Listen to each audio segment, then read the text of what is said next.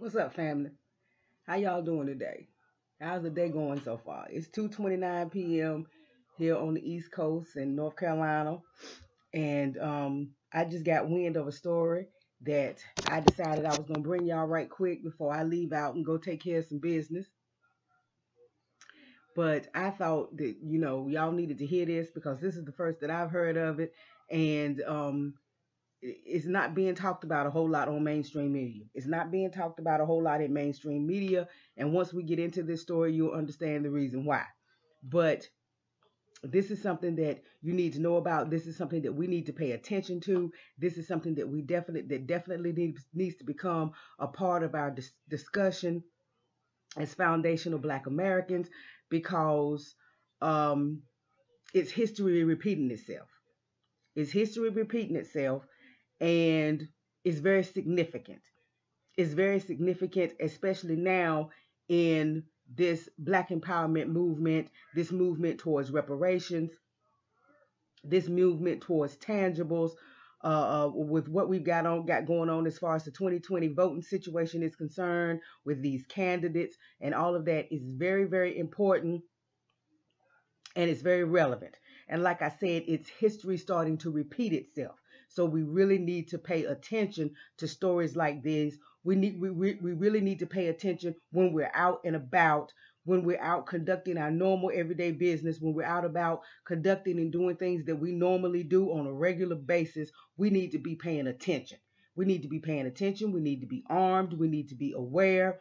Uh, we need to start taking self-defense classes. We need to start sending our black kids to take self-defense classes.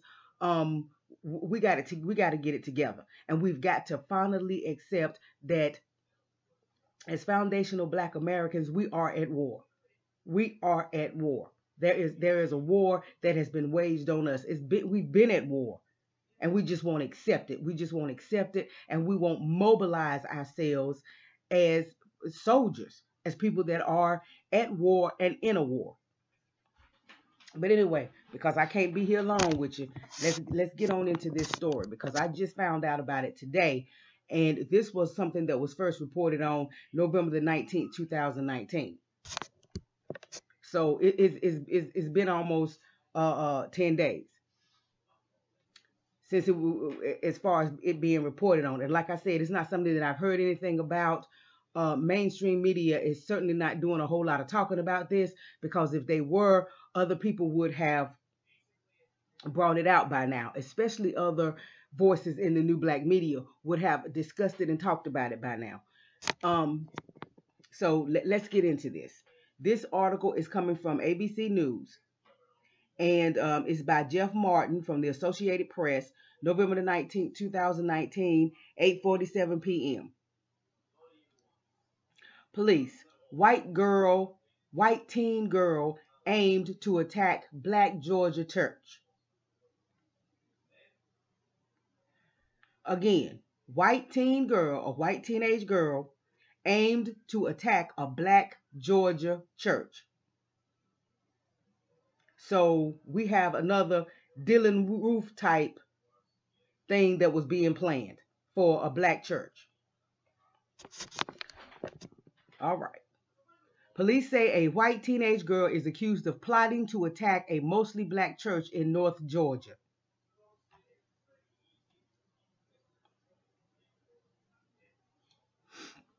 and it has a picture of the church.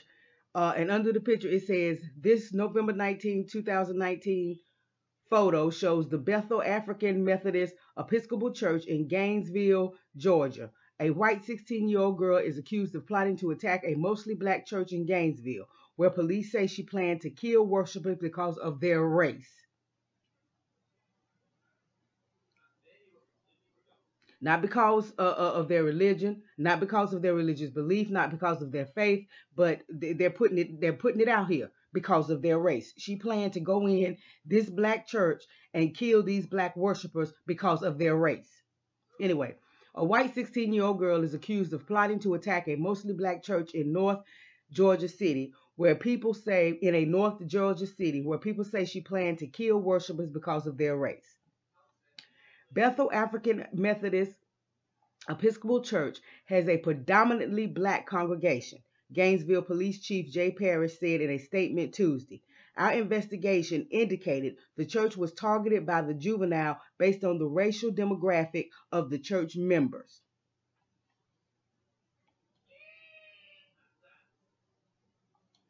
Students, school administrators, and law enforcers and law officers worked together to thwart a potentially horrific incident, he added. Police did not release her name. Now it's funny how she's 16 years old, right? So, and she was plotting. Uh, uh, students, school administrators, all of this worked together to, to, to, to, to thwart this potentially horrific incident. 16 years old, but they're not releasing her name. They're not releasing any information about her. 16 year old white girl that plan to go in this this this this church and commit murder, mass murder because of these people race, but they're not releasing her name. Now, if she was black, if she was a black 16 year old, we know that by now it first of all would be plastered all over the place. It would be plastered all over mainstream media with her picture, her name, her parents' name, everything about her, whether or not she ever smoked weed, whether or not she you, you know she's ever been involved in anything else, you you know that that could even remotely be considered criminal. Everything about her whole life story will be plastered all over the place if she was black. But because she's a 16 year old white girl, they're not releasing her name. And it's not because she's a minor, because they do the same thing with police officers uh, uh that, that, that, shoot unarmed black folks. You, you know, they do the same thing with, with, with other white people that commit these crimes. I mean, it's a long time before they will actually release their names or release any information about them because they want to go on the internet and they want to scrub the internet and they want to go on their Facebook and make sure that you know there are no racially discriminatory uh, uh, um, posts or anything like that on their on their social media platforms. You know they they want to do all of that so they can clean it up and protect these white folks. But if it was somebody black, your name, all your Facebook posts, everything about you would be plastered all over mainstream media, everywhere, all CNN, New York Times, ABC, MSNBC, everybody. It would be plastered all over the place. Police did not release her name. Her name should be re released. Her name should be released because, and not only should her name be released, but anybody else that they have found that were that was a part of this or that was in this with her. Because believe me, she didn't plan this all by herself. This is not something that she planned all by herself. The plot came to light when, Greens, when Gainesville high school students told administrators the 16 year old had a notebook with detailed plans to kill worshippers at the church, Parrish said. It just grieves my spirit on a number of different levels. One, that the intentions of this young person were so calculated to do great harm against people who just simply had no knowledge of such a plot said the Reverend Rose John Mackey, director of the New Newtown Florist Club, a civil rights organization founded in Gainesville 70 years ago. The girl is charged with criminal attempt to commit murder, the police said. She's being held in a youth detention center in Gainesville. Now look what she's charged with. She's charged with criminal attempt to commit murder. Seems to me like there should be at least one other charge, but we'll get into that. Details of the alleged plot haven't been released. See, no details have been released. Her name is not being released. Why? This young woman posed a threat to the community, not just to the black community, but she poses a threat to the community at large. But just because her target was black folks in a black church, no information is being released. No plot details, her name, nothing. We need to know her name. Everybody in the community needs to know her name. The public needs to know her name. Details of the alleged plot haven't been released, but Parrish said it came to light Friday when school administrators contacted police. At least they had sense enough to do what they were supposed to do. We're just very pleased that our police department acted so swiftly, and the police department, in conjunction with our school administrators, were just on top of the situation, Mackey said. Gainesville is about 50 miles, 8 kilometers northeast of Atlanta. It's a city of just over 40,000 people, about 70% of whom are African American. Reverend Dr. Michelle Rizapool, who leads the congregation at Bethel AME, said she was shocked when notified by police about the alleged attempt. When I found out, I drove to the church, went inside it, and prayed and anointed my church and asked God to put a hedge of protection around us. You better do more than pray and ask God to put a hedge of protection around you. You better become aware. You better open up your eyes. You better be careful of the folks sitting in your congregation. Every time you open the doors of your church, you better be aware of who's sitting in your congregation because everybody that's sitting there is not sitting there to worship with you.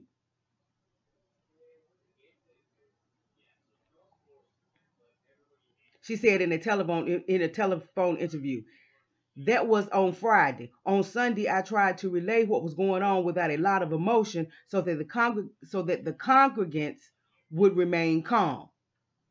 Yeah, it ain't time for emotion. It's not time to get all emotional and all bat shitty crazy and all of that. It's time to realize where you live. It's time to realize the climate that you live in.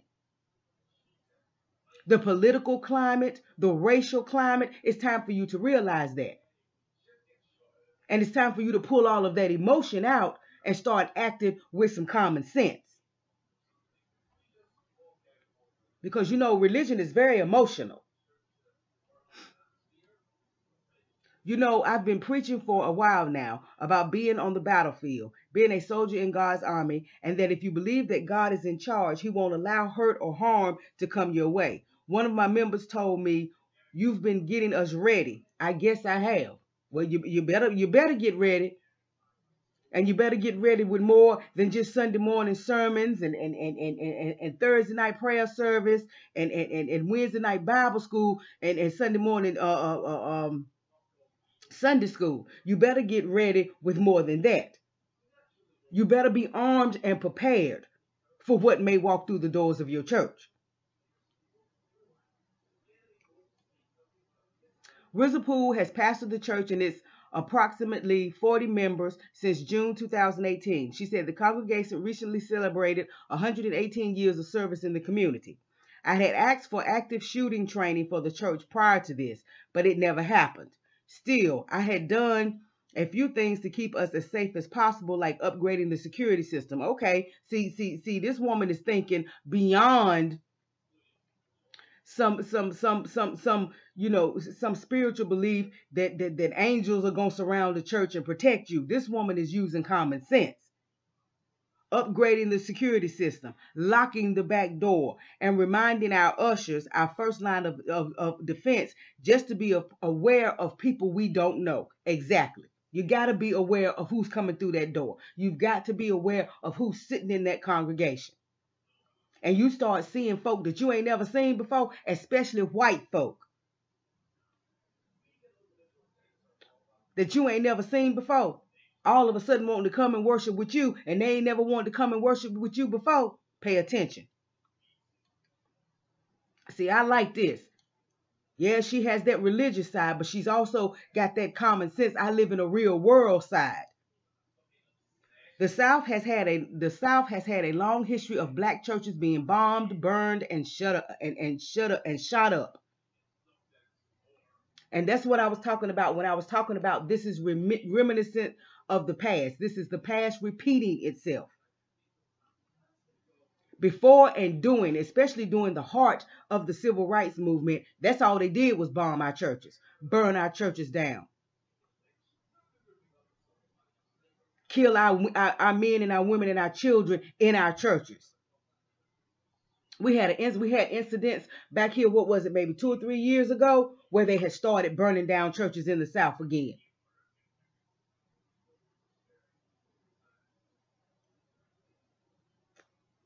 But they would do they would do most of that, you know, uh, under the cover of darkness, you know, and at night and all of this. But now they just getting bold with it. They just walking up in the churches with the guns and just shooting everybody up.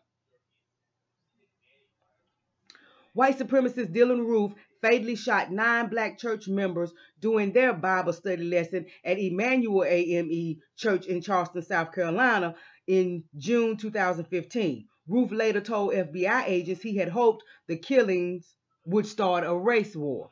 And see, this is who this young woman is modeling herself after. Dylann Roof was her inspiration. And that's the reason why I don't believe that this is something that she was just planning on her own. 16 years old. She was born in 2003. 16 years old. How do you garner this kind of hate towards a group of people that you plan to go in and massacre? Because it's not like she was just talking about killing one person. If she was talking about walking in a church killing, she was talking about doing a mass killing. She was talking about mass murder. Where do you get that kind of hate from at the age of 16?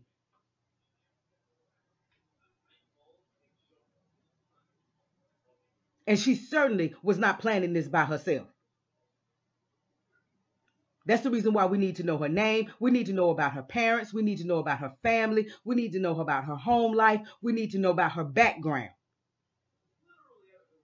And we need to know if anybody else was involved in this and whether they still running around out there or not.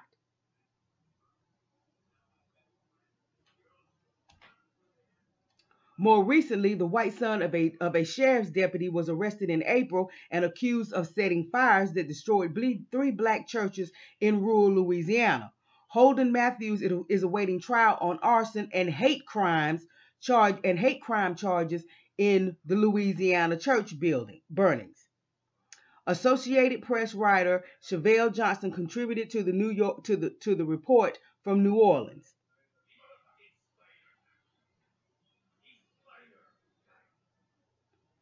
See, that's another thing. I don't understand why this young woman was not charged with hate crimes. That's a hate crime when you target somebody specifically because of their race and plan to do them harm. That's a hate crime. So not only did she need to be charged with, what did they say she was charged with? Criminal attempt to commit murder, she also needs to be charged with a hate crime. And she needs to be charged with terrorism because that's a terrorist act. That's an act of terror. That's an act of terrorism. But see, they're going to try to protect her because she's young and because she's white. And we've heard it before in these courtrooms with these judges, with these white young people talking about, you, you know, they looking out for their future and, and they don't think that this incident should affect the rest of their lives and all of this kind of stuff. But if you're 16 years old with this kind of hate in you already, what kind of future are you going to have? What kind of future are you looking to have?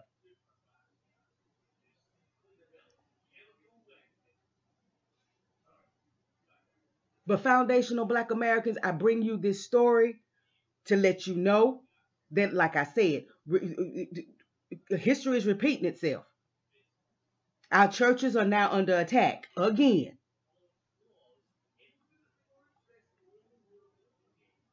So we have got to be aware. We have got to be aware. Aware. We have got to get armed up. Like I said, we've got to talk, start taking defense classes and learning how to defend and protect ourselves and our families and our communities because they're coming at us from every angle. In the workplace, on the street, in our homes, in our churches.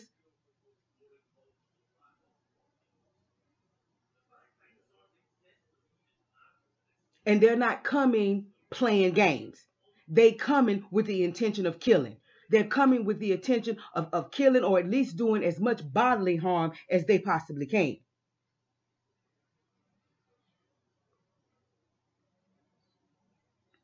So exercise your right to, to, to, to, to practice whatever religion you want to practice.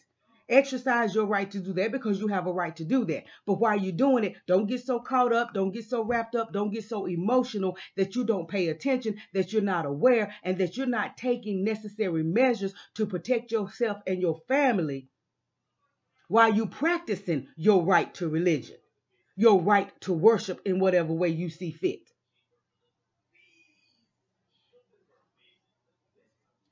Just like this pastor said, what she said they was doing? Upgrading security system, locking back doors, and reminding your ushers and, and, and your other congregants and the other people, the other members of the church, reminding them pay attention. Pay attention who walking through those doors. Pay attention to who's sitting among us.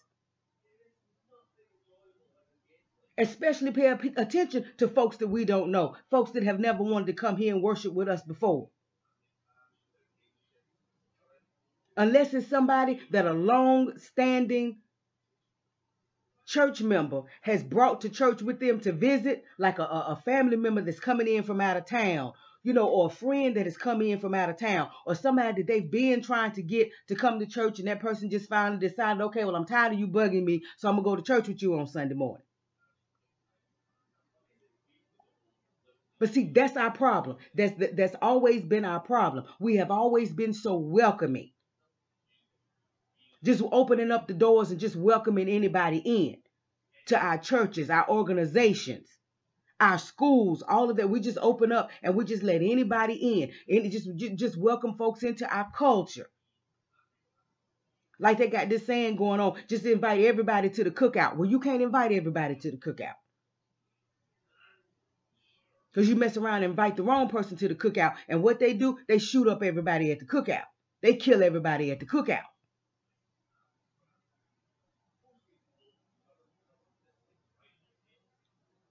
So we have got to open our eyes. We have got to open our eyes, open our minds, and accept the fact that we are at war again. Accept the fact that this is a battlefield. Accept the fact that there are there is a target on all our backs. And we have especially got to pay attention while we're out and about doing the things that we do normally every day. Like I said, the workplace, while you're driving. You see, I just did the story about the three police officers that that that, that tased the black man to death, and he won't do a number walking.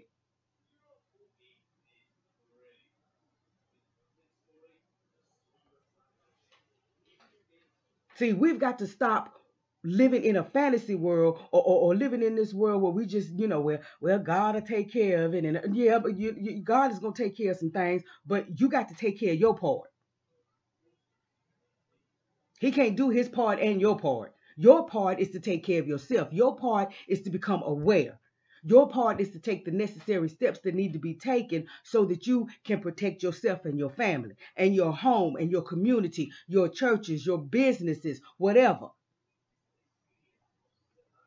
Just like Black's Wall Street. Black Wall Street had it going on. The only thing that was missing in Black Wall Street, and I'm sure y'all know about Black Wall Street, that big community that the black people had with all the businesses and everything in Oklahoma, and, and they were really and, and they were really doing the thing. They were doing it. The white folks got upset, they got mad, and they found a reason to go in and destroy it all. It was the first time that bombs had ever been dropped on American soil. And those bombs were dropped by white folks, by white Americans, against foundational black Americans. We weren't at war and somebody came over here and dropped the first bomb on us. No, the first bombs to ever be dropped on American soil were done by Americans against Americans. And the reason why they were able to destroy Black Wall Street in the matter of hours. I think I, I, I think in less than 24 hours it was burnt to the ground. Was because we didn't have any military force. Foundational black Americans didn't have any military force. We didn't have anything in place to protect us physically, to defend us, to defend us, our homes, our businesses against attack there was no military presence. We need a military presence in our communities. We need, we need folks that have been trained and that are armed and ready to defend the black community, to defend our black churches, to defend our black citizens, to defend our black businesses and our homes.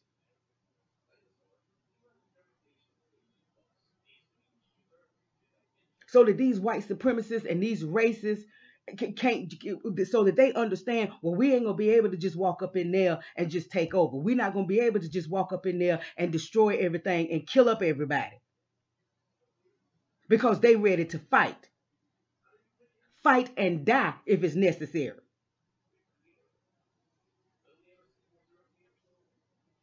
We didn't need any laws or anything else to protect us.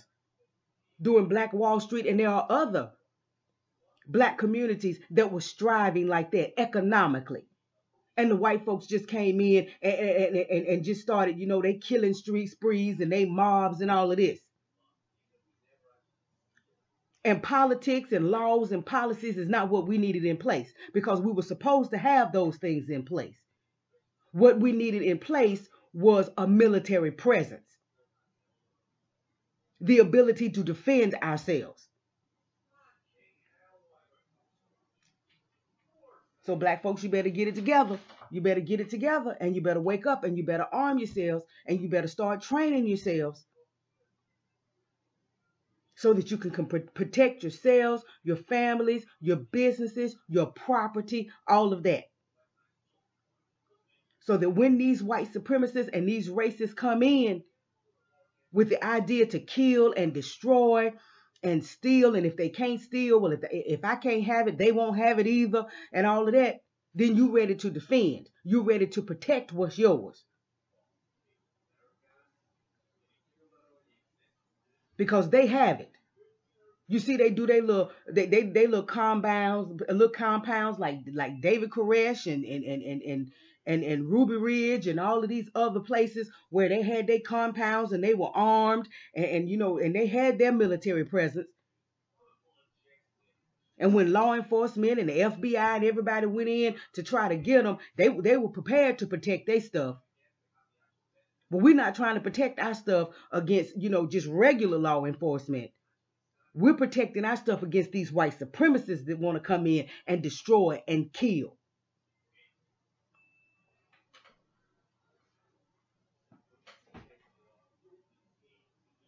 So go get some training. Exercise your Second Amendment right to, to, to, to bear arms. Go, go go somewhere and, be, and, and, and, and get and get registered legally to bear arms, to carry and conceal or whatever. Then go to gun ranges and all of that and practice. Go somewhere and, get, and, and start taking self-defense classes. Beef up the security around your home and your businesses. Teach your children how to protect themselves. Send them to defense to self-defense classes, martial arts classes, and all of this. Teach them how to defend not just the girls, the girls and the boys. You see, they snatching uh, uh, uh, uh, black women, black women and black girls off the street. Over 75,000 black women and girls missing. You need to learn how to de defend yourself. You need to learn how to be aware of your surroundings at all times.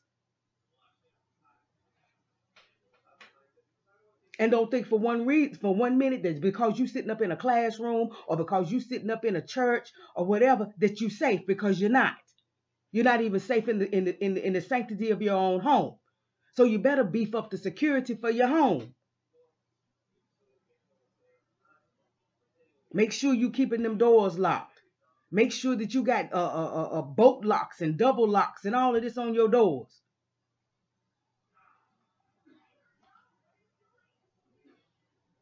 But I just wanted to bring you, y'all this story. 16 years old. 16 year old little white girl. And she was plotting her a Dylann Roof style massacre on this black church.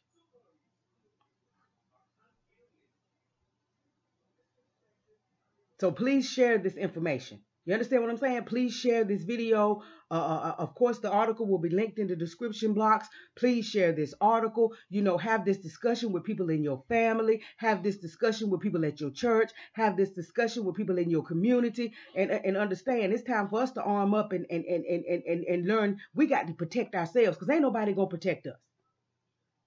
Ain't nobody going to look after us. The government is not going to take the target off our backs.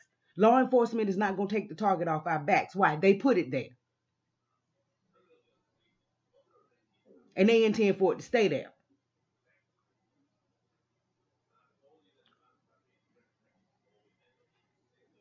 If I hadn't been paying attention, I would have missed this story.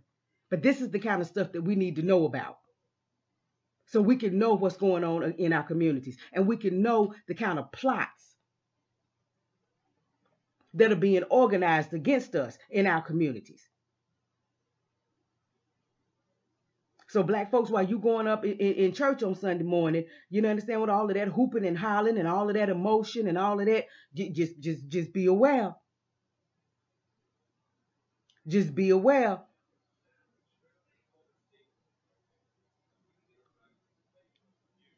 Death may be sitting in that pew next to you.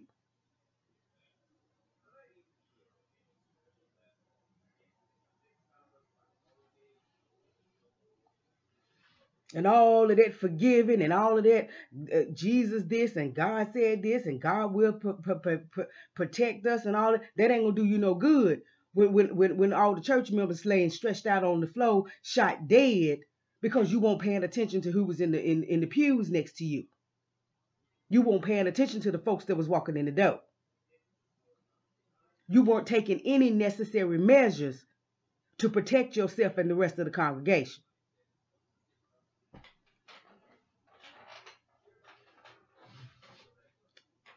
But like I said, the link to this article will be in the description box. Please like this video. Please share this video. Please have these conversations in, in your own families, in your own churches, in your own communities. Have these conversations and start taking the necessary steps to protect yourself, your families, your communities, your businesses, your churches.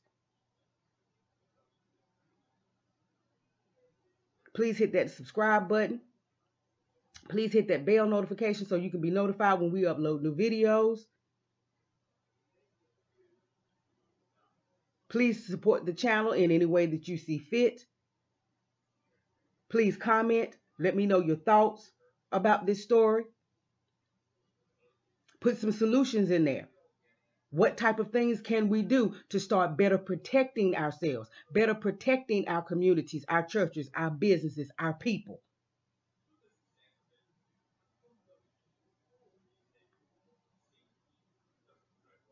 And please, foundational Black Americans, wake up, stay woke, and stay aware. Have a good day.